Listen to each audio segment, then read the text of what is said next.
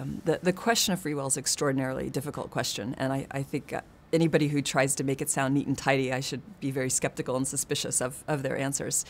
We uh, still find the um, free will to be a pretty mysterious concept. We, we, I, I, happen to think it's not an illusion. I happen to think we, we do have uh, freedom to choose, and, and yet uh, that belief is not consistent with what some of my colleagues believe about us being uh, purely uh, mechanisms that are determined in some way by their physical properties.